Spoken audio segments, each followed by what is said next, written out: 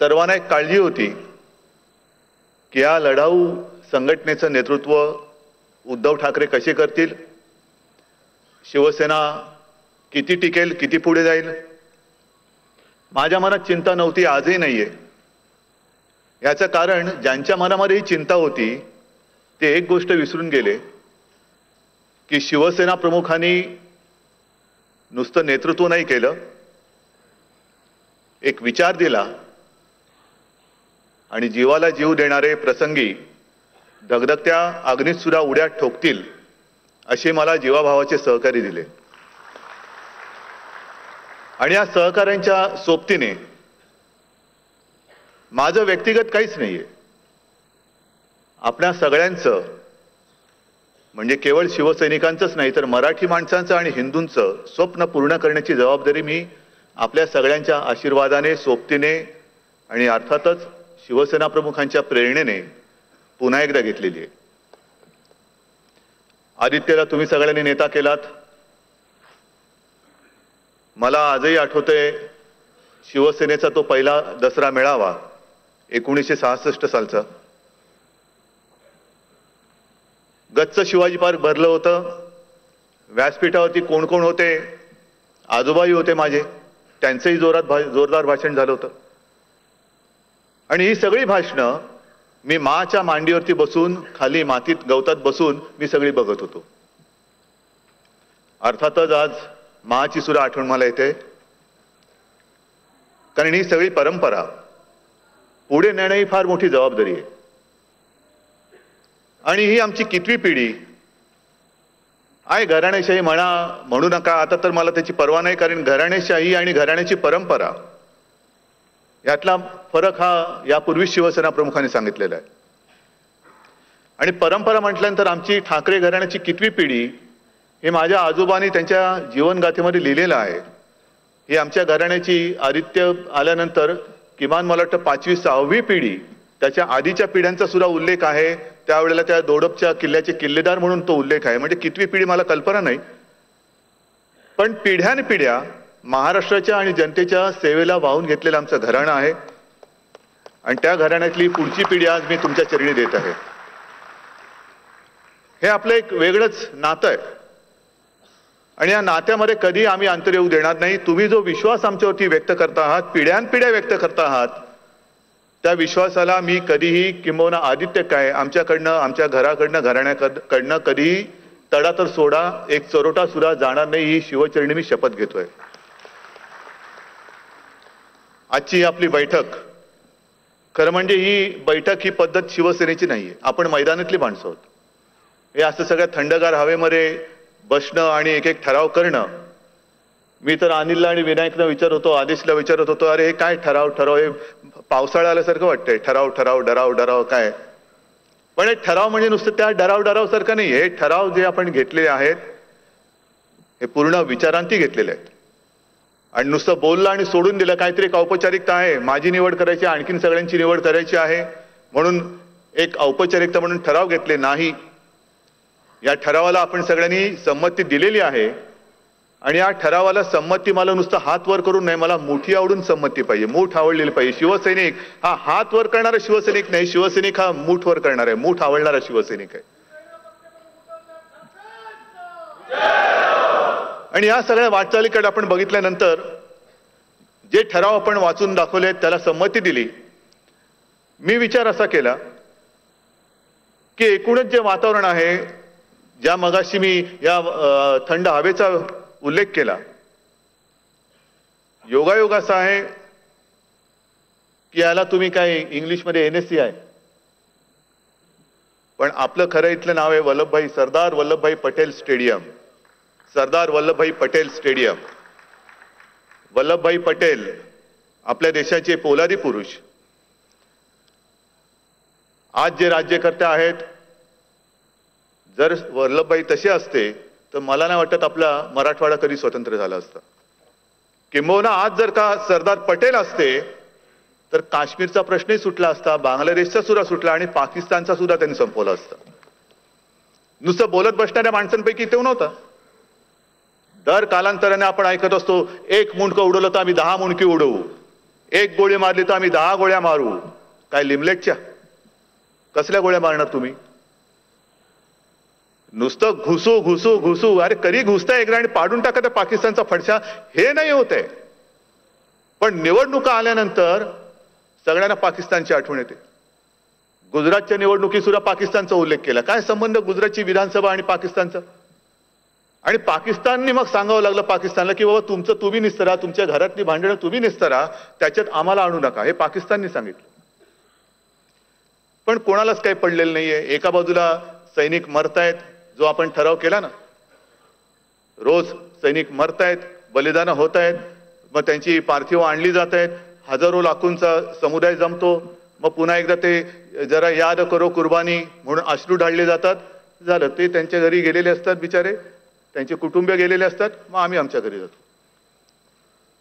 एकूण जो काही सगळा प्रकार चाललेला आहे तो बघितल्यानंतर संताप या गोष्टीचा होतो की गेल्या आठवड्यामध्ये एक कार्यक्रम जो होता इकडे मुंबईमध्येच आणि त्या कार्यक्रमामध्ये नितीन गडकरी जे बोलले हे माझं तर खळ तळपायची आग मस्तकात गेली. हम सरकार है नेव्हीचं इकडे काय काम आहे तुम्ही सरहद पर जाओ. मग ते जे काय सरहद्दीवरती करतायत सर्जिकल स्ट्राईक करतायत त्यांचं फुकटचं श्रेय तुम्ही नका टाकू? तुम्ही जाताय का तिकडे बंदुका घेऊन? तुमच्यामध्ये हिंमत नाही केल्यानंतर हम सरकार आहे. आहे ना दुर्दैवाने खरं आहे हम सरकार आहे. पण सरकार आहे म्हटल्यानंतर तुमच्या हातात अधिकार आहे. एखादी गोष्ट जर का ते चुकत असतील तर बोलून त्यांना चार भिंतीत तुम्ही सांगू शकता. जो माझ्या देशासाठी प्राण द्यायला तयार आहे तुम्ही कसले प्राण देताय हो? ईएमचे घोटाळे करून सत्तेवर येतात असं जनता म्हणते. आम्ही नाही म्हणत. आणि मग सरकार म्हणून तुम्ही त्यांच्यावरती मस्ती दाखवतात. पण त्यांच्यामध्ये जे काही शौर्य आहे नुसती छप्पन इंचाची छाती नाही. छाती किती इंचाची हा विषय नाहीये. त्या छातीमध्ये शौर्य असावं लागतं. ते शौर्य जर का तुमच्या छप्पन इंचाच्या छातीत नसेल तरी छप्पन इंचाची छाती या देशाच्या कामाची नाही. तुम्ही खरं त्यांना सांगू शकता पण चार चौघात म्हणजे पूर्ण जगभरामध्ये तुम्ही माझ्या देशाच्या नेव्हीची माझ्या सैनिकाची नालस्ती करतात. हम सरकार आहे तुमच्या इकडे काय काम आहे? उद्या त्यांनी जर का सांगितलं की तुमच्या इकडे काय काम आहे तुम्ही जा तुमच्या घरामध्ये बसा. हा जो काय मस्तवालपणा या राज्यकर्त्यांच्या डोक्यामध्ये घुसलेला आहे ती जी काय हवा घुसलेली आहे आणि मग हे हिंदुत्व आहे मराठी माणूस आहे आहे हे आमचे जीवाभावाचे प्रश्न आहेत. एका बाजूला गडकरी आपल्या सैनिकांची अवहेलना करताना जे सैनिक आपले काश्मीरमध्ये रोज शहीद होत आहेत आणि दहशतवाद्यांना कंठस्नान घालतायत त्या कंठस्नान घालणाऱ्या दहशतवाद्यांमधला तिथला तो जो एक आमदार आहे एजाज मीर तो काय बोलले आपल्या पर्यंत आले? कळले काय आपल्याला? आपण जे म्हणतो की ते जवान तिकडे त्या शहीद होत आहेत आणि दहशतवाद्यांना ते ठार मारतायत मारलेच पाहिजेत. पण हे चालू असताना हे शौर्य आणि रक्ताचा सडा पडत असताना ज्यांच्या मांडीला मांडी लावून भारतीय जनता पक्ष तिकडे काश्मीरमध्ये सत्तेवरती बसलेला आहे लाचार म्हणून तिकडे बसलेला आहे.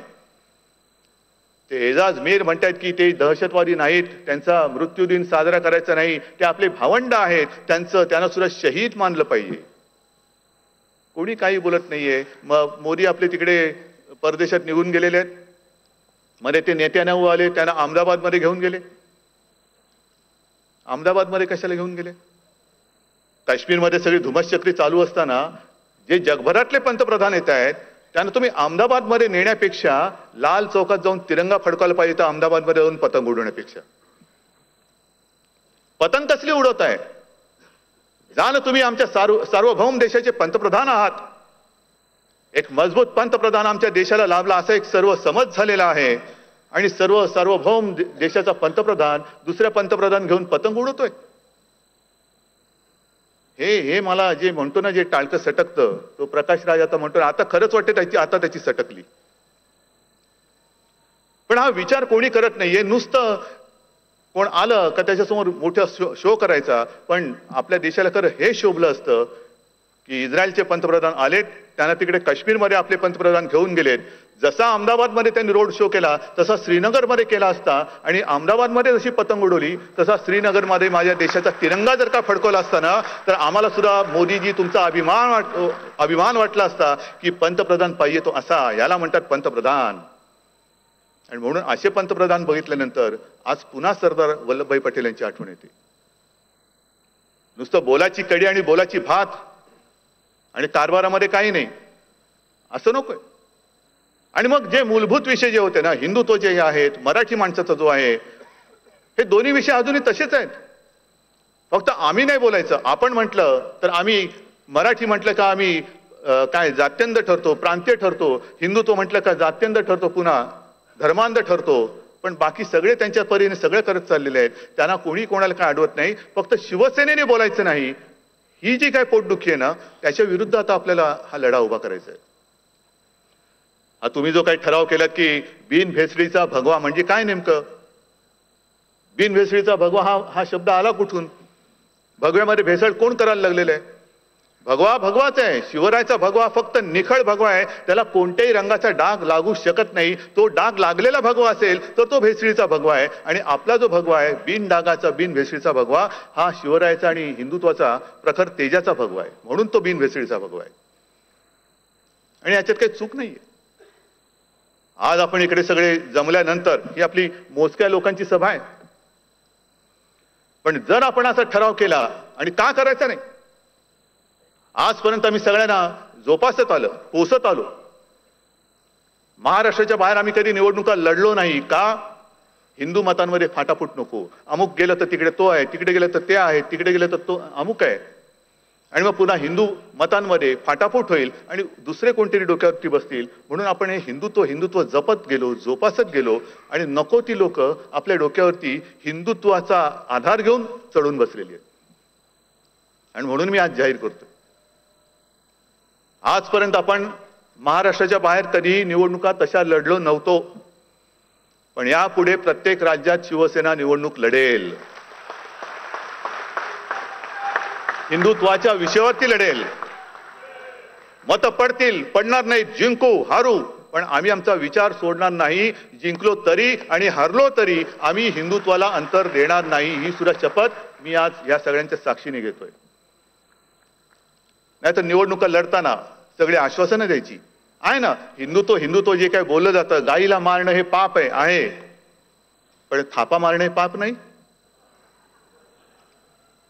गोवंश हत्या बंदी जशी तुम्ही करतात तसं थापाबंदी सुद्धा करा. थापा मारणार नाही. जो थापा मारेल तो तुरुंगात जाईल. बघा कोण कोण तुरुंगात जाते. पुन्हा त्या सरदे न्यायाधीशांनी काय बोलले तर मला कल्पना नाही कारण तिकडे सुद्धा आता गडबड गोंधळ चाललेला आहे. पुन्हा त्या थापा मारण्याची केस कोणासमोर यायची त्याच्यावरनं वाद व्हायचा. कारण गाय मारणं हे जसं पाप आहे तसं थाप मारणं आणि लोकांना भुलवून सत्ता मिळवणं हे सुद्धा पापच आहे आणि ते सुद्धा आम्हाला हिंदुत्व हे हिंदुत्व आम्हाला मान्य नाही. या हिंदुत्वाच्या ज्या काही यांच्या भाकड कल्पना आहेत ना त्यांचं हिंदुत्व आणि आमचं हिंदुत्व हे असं वेगळं आहे. ज्या वेळेला तो मगाशी मी सांगितलं तो मीर दहशतवादांना आपले भावंड मानतो आणि तरी सुद्धा ही लोक त्यांची भांडी घासतात हे हिंदुत्व आम्हाला मान्य नाही. दहशतवाद्यांना भाऊ मानणाऱ्यांची भांडी केवळ सत्तेसाठी घासणं हे नाही हिंदुत्व. तुम्ही ताटकन खरं म्हणजे राजीनामा देऊन बाहेर पडायला पाहिजे होतं की असलं आम्हाला सत्तेसाठी हे चोचले जमणार नाही जो दहशतवादी आहे तो दहशतवादी आणि त्याला मारणार म्हणजे मारणारच. हे करा ना हे कुठेतरी हिंदुत्व दाखव. पण हिंदुत्वाचे असे सगळे झिंडवडे काढलेले आहेत. प्रत्येक जण आपापल्या परीने हिंदुत्वाचा अर्थ लावतो आहे. आणि मग हिंदुत्व एका जागी आहे. मराठी आमचे एका जागी आहे. आज सुद्धा जो आपण ठराव दुसरा एक मंजूर केला मराठी माणसाची एकजूट. ही एकजूट एवढी महत्वाची आहे.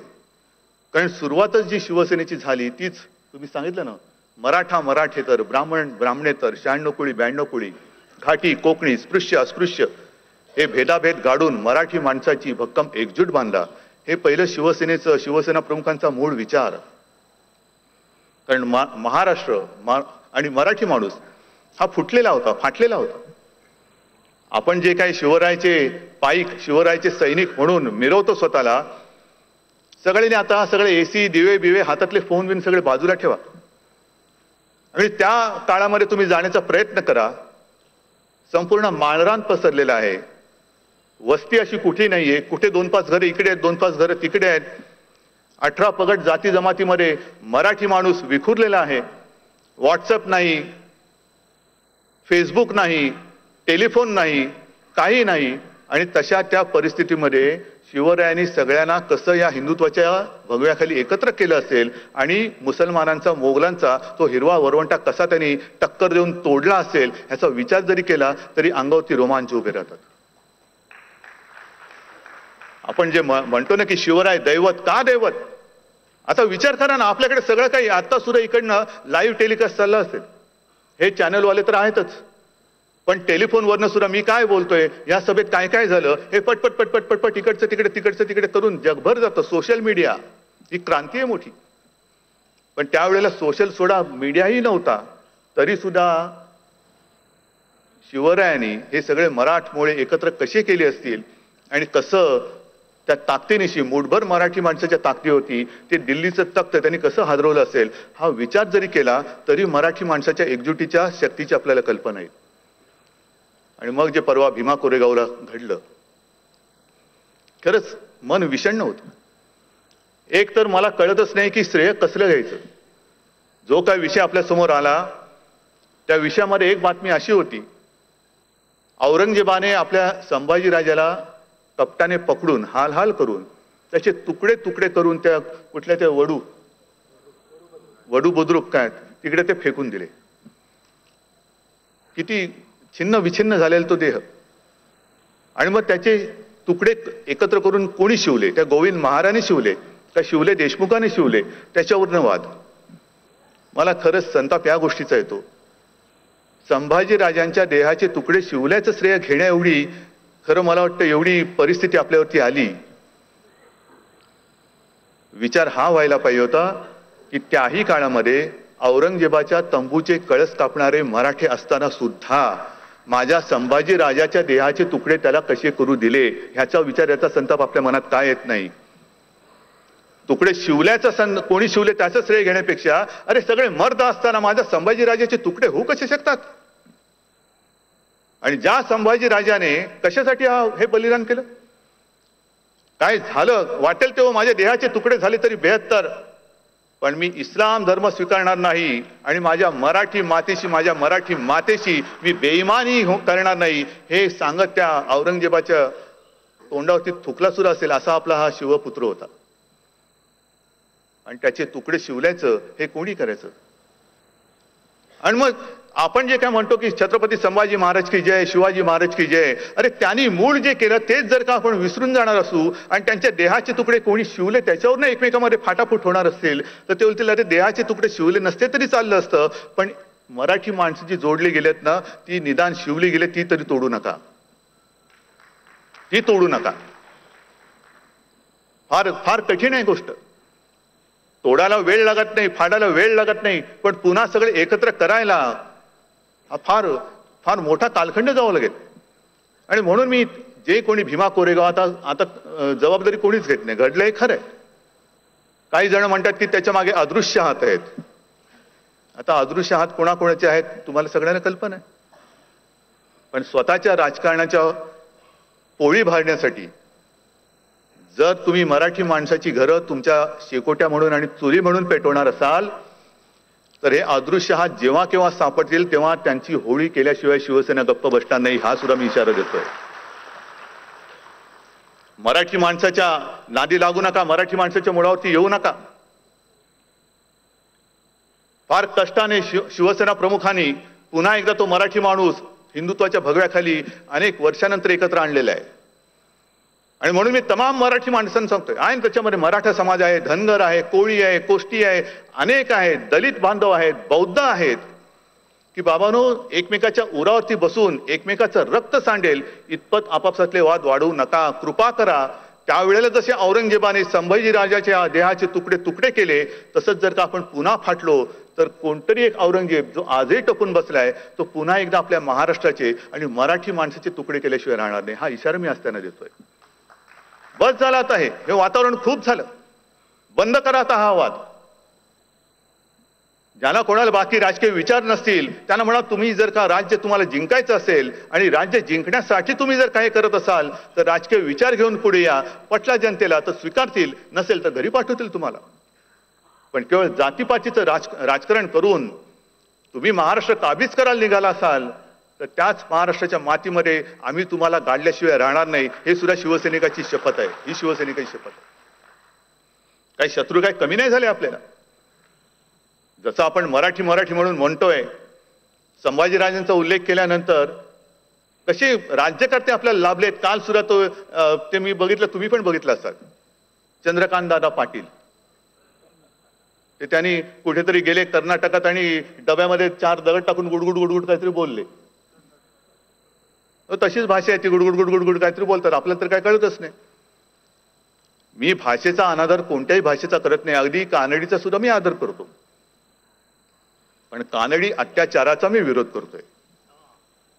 कानडी अत्याचाराचा मी विरोध करतोय. मी कानडी भाषेचा अनादर नाही करत. जसं मराठी माझी मातृभाषा आहे. कानडी कोणाची तरी असेल. उर्दू आहे पंजाबी आहे गुजराती आहे बंगाली आहे. प्रत्येक जणाला आपापल्या मातृभाषेचा आदर हा असलाच पाहिजे तसा मी सुद्धा कानडीचा आदर करतोच. पण माझ्या आईचा अनादर करून मी दुसऱ्यांचा आदर करणार नाही तेवढा नालायक पुत्र मी महाराष्ट्रामध्ये मराठी मातीत जन्माला आलेलो नाहीये.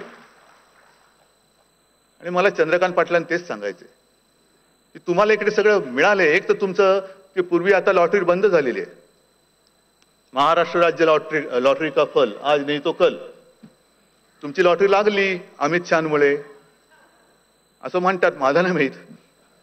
पण त्याच्यामध्ये तुम्ही चांगलं काहीतरी करा ना. इकडे लॉटरीचं फळ खाताना बिया पुन्हा आमच्यावरती थुकू नका. जर तुम्हाला कानडी मातेच्या पोटी जन्माला यायचं असेल ना तर आत्ताच तिकडे दत्तक जा. आजची माणसं महाराष्ट्रात राहण्यापेक्षा कर्नाटकात गेलेली बरी. तिकडे जा आणि कर्नाटक.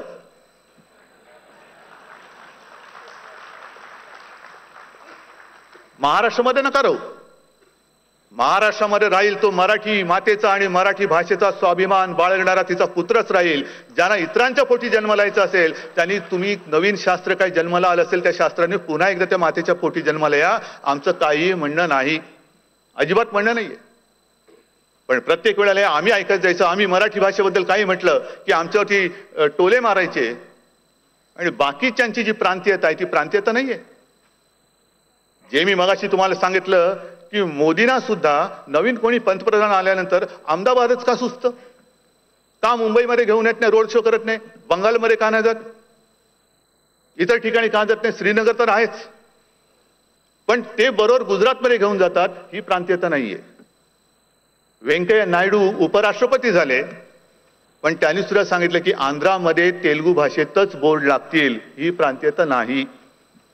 पण आम्ही मराठी भाषेचा अभिमान मानला तर मात्र ती प्रांतीयता आहे ती जात्यंधता आहे ती धर्मांधता आहे आणखीन काय काय आहे? संकुचितवाद आहे. ही अशी भाकड आणि भेकड माणसं राज्यकर्ते म्हणून आम्हाला मान्य नाही आहेत अजिबात नाही आहेत. आणि असे भाकड आणि भेकडांचं राज्य घालून जर तुम्ही त्यांच्या छातडावरती भगवा रोवणार असाल तर आणि तर शपथ घ्या तर आणि तर शिवसेना प्रमुख आणि शिवरायचं नाव घ्या नाहीतर मग त्यांच्यात आणि आपल्यामध्ये काही फरक नाहीये. जगायचं असेल तर वाघ म्हणून जगा भेकड म्हणून जगू नका. या सगळ्या गोष्टी ज्या आहेत या कुठेतरी थांबून आपल्याला तर पुढे जायला लागेल. मगाशी मी तुम्हाला जे सांगत होतो की गाय मारणं हे पाप आणि थापा मारणं हे सुद्धा पापच आहे का नाहीये? प्रत्येक वेळेला निवडणुका आल्यानंतर टप्प्याटप्प्याने पुढे जातात. अच्छे दिन आयंगे आलेत अच्छे दिन? आपल्याला तर कळतच नाहीये की देश पुढे चाललाय की पाठी चाललेला आहे. एका बाजूला म्हणतात देशाची प्रगती झाले पण दिवसा गणित कारखाने बंद पडत आहेत बेकारी वाढते. शिक्षणाची बोंब झालेली आहे. हे सगळे जे काय आपण ठराव करतोय त्याच्यामध्ये महिला झाला शेतकरी झाला शेतमजूर झाला कामगारांचा आहे युवाचा आहे किती विषय सैनिकांचा आहे. जसं शेतकऱ्यांना आम्ही म्हणतो की त्यांना कर्जमुक्त केलंच पाहिजे तसंच शिवसेनेची दुसरी मागणी आहे की जे आमचे सरकारी आणि काय दुसरे निम सरकारी कर्मचारी आहेत त्यांच्या सातव्या वेतन आयोगाचं काय होणार? कधी मिळणार त्यांचा हक्क त्यांना? महिलांना त्यांचा हक्क कधी मिळणार? युवांना सुद्धा त्यांचं शिक्षण हे मूलभूत पहिले शिक्षण मिळत नाही. तारीख पे तारीख. परीक्षा आल्यानंतर पेपर फुटतात तारखा लागतात पुन्हा त्याच्यावरती तारीख. आणि बरोबर जर का ती परीक्षा कधी वेळेत झालीच तर रिझल्ट लागत नाही. हे सगळा जो काय गोंधळ चाललेला आहे मग कालचा गोंधळ बरा होता. हे म्हणण्याची जर का वेळ आली असेल तर मग तुमचं सरकार आणि त्यांचं सरकार ह्याच्यामध्ये निवडायचं कोणतं? आणि हा जर का गोंधळ सगळा थांबवायचा असेल तर मग शिवसेनेखेरीज मला नाही वाटत दुसरा कोणताही पर्याय महाराष्ट्रासमोर तरी शिल्लक राहिला असेल. गुजरातच्या ज्या काही निवडणुका झाल्या आहे ना काँग्रेस पुढे सरकली भारतीय जनता पक्ष मागे सरकला. ते मागे सरकले यांच्यामध्ये आम्हाला आनंद नाहीये. आणि काँग्रेस पुढे सरकली ह्याच्यातही आनंद नाहीये. पण जर का कदाचित तिकडे तिसरा प्रादेशिक पक्ष असता तर मला नक्की खात्री आहे की जनतेने तिसरा प्रादेशिक पक्ष म्हणून त्या पक्षाला सत्तेवरती आणलं असतं. आज तुम्हाला आम्हाला आता ती पोकळी भरून काढायची. स्वतःच्या ताकदीवरती स्वतःच्या हिमतीवरती महाराष्ट्र काबीज करायची ही शपथ हा काही गुन्हा नाहीये. ज्या वेळेला शिवसेना प्रमुख होते त्याही वेळेला प्रमोद महाजनांनी शत प्रतिशतचा नारा हा दिलेला होता. जर शिवसेना प्रमुख होते त्याही वेळेला यांची हे धाडस होतं तर मग मोदी असतील आणखी कोणी असतील? मला माझ्या शिवरायाचा शिवसेनेचा भगवा महाराष्ट्र फडकवण्याचा अधिकार आहे आणि तो मी बजावणारच.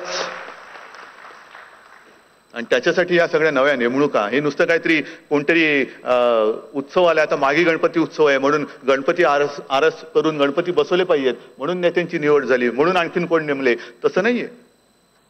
ही सगळी माणसं काम करणारी माणसं दिलेली आहेत मी तुम्हाला. आणि आता याच्यापुढे ज्यांच्या ज्यांच्या नेमणुका झाल्यात आणि ज्यांच्या नेमणुका आधी झालेल्या आहेत समन्वयक नेमलेले आहेत दर तीन महिन्यामध्ये मला ही प्रत्येक पदाधिकारी काय करतात त्याचा रिपोर्ट आलाच पाहिजे. हे काय करतात काय काय तीन महिन्यात कामं केली किती शिवसेना शाखा काढल्या किती ठिकाणी तुम्ही स- सदस्य नोंदणी केलेली आहे. नाही तर नुसतं मिरवण्यासाठी पदं नाही आहेत. म्हणतात असं की डिसेंबर अठरामध्ये लोकसभा आणि विधानसभा एकत्र येतील. आल्या आल्या. नाहीतर एकोणीसमध्ये येणारच आहेत. दोन्ही येणार आहेत. निवडणुकीच्या तयारीला लागा असे सगळेच पक्ष म्हणतात. म्हणजे नेमकं काय करा? आणि मग प्रत्येक जण काही ना काहीतरी करत असतो. की काय ते एक युथ आणि दहा एक बूथ दहा युथ. असं यमक जुळवत असतात. मी म्हणतो आपणही करा. एक बूथ दहा युथ पण मला प्रत्येक बूथमधलं म्हणजे त्या जनतेमधलं ट्रूथ कळलं पाहिजे. आणि ते सत्य म्हणजे असं आहे की ज्या मोठमोठ्या जाहिराती लागतात इतक्या लाख महिलांना मिळाला आत्मसन्मान. जा प्रत्येक मतदार यादीत जा आणि प्रत्येक महिलेला विचारा ताई हे इकडे तुझ्या गावात थोडे आलं तुला मिळालं का गा आत्मसन्मान? तुला मिळालं का ते गॅसचं सिलेंडर? तुला मिळालं का अमुक? तुला मिळालं का योजनेचा फायदा? नाही काढा. पन्नास लाख शेतकरी कर्जमुक्त होणार. जा शेतकऱ्याच्या घरात जा विचारा. दादा त्या पन्नास लाखात तू आहेस? कारण शेतकरी कर्जमुक्त तर झालाच पाहिजे ही मागणी शिवसेनेची आहे. मी जिथे जिथे जातो तिथे तमाम त्या शेतकऱ्यांना जाहीर सभेत विचारतो कारण ज्या क्षणी ज्या दिवशी महाराष्ट्रामधला शेतकरी कर्ज मुक्त होईल त्याच्यात सगळ्यात जास्त आनंद हा मला झालेला असेल आणि तुम्हालाही शिवसेनेला सुद्धा झालेला असेल. पण सगळ्यांना विचारतोय तुमच्यापैकी कोण आहे? एक सुद्धा हात वर करत नाही. आत्मसन्मान योजना तीन कोटी लोकांना मिळाला. तुमच्या गावातलं कोण आहे? एक सुद्धा हात वर येत नाहीये. म्हणजे योजनेवरती खर्च शून्य आणि जाहिरातीवरती करोडोचा खर्च. नुसत्या जाहिरातबाजीवरती सरकार चाललं असेल तर हे जाहिरातबाजी करणारं सरकार आपल्याला खाली खेचावंच लागेल आणि शिवशाहीचं सरकार हे निदान महाराष्ट्रामध्ये तरी सत्तेवरती पुन्हा आणावंच लागेल म्हणून ही प्रतिनिधी सभा आणि या सगळ्या जो काही खटाटोप करतो तो आपण केलेला आहे. मला वाटतं बोलण्यासारख्या बऱ्याच गोष्टी आहेत.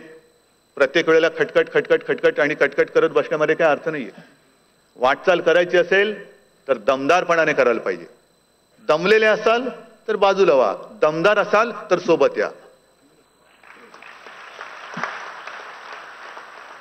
आणि मला खात्री आहे की तुम्ही सगळीकडे जमलेले दमलेले नाही. दमलेले असतील त्याने हात वर करा. एक मताने हात वर करा. नाही मीच खाली केलं पहिल्यांदा माझाच फोटो यायचा. तुम्ही सगळे दमदार शिवसैनिक आहात. आणि मला अभिमान आहे की एक गौरवशाली परंपरा तेजस्वी धगधगती परंपरा त्या परंपरेचं नेतृत्व तुम्ही सगळ्यांनी एका विश्वासाने माझ्यावरती दिलेलं आहे. आदित्यला तुम्ही स्वीकारलेला आहात. ह्या विश्वासाला मी पुन्हा एकदा सांगतो कधी तडा जाऊ देणार नाही. आणि तुमच्या माझ्या शिवसेना प्रमुखांच्या मनातला भगवा आणि भगव्याचं राज्य मी महाराष्ट्रावरती आणल्याशिवाय राहणार नाही. जय हिंद जय महाराष्ट्र.